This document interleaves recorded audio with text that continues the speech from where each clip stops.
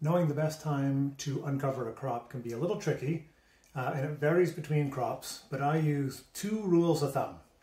The first one is to uncover early as opposed to late. I find generally we get better results that way.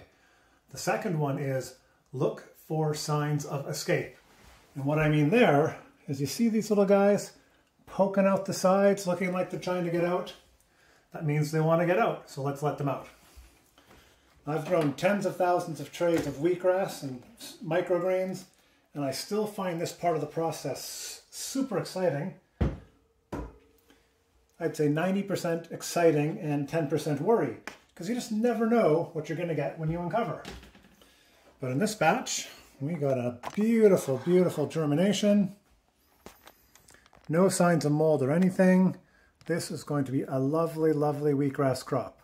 So this is uh, two and a half days. We're going to give it about four more days before uh, harvest, and then we're going to be good to go. So this is our experiment with looking at wheatgrass on a hemp mat uh, on an upside down tray. And here we're using the paper pot transplanter trays, and these are working great. I'm going to fill the bottom trough with water for root growth to grow into.